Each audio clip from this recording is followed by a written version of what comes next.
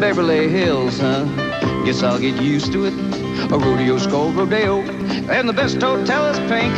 I'm checking in, they're checking out. My machine is standing out. What's the matter with y'all? Ain't you ever seen a truck? Beverly Hills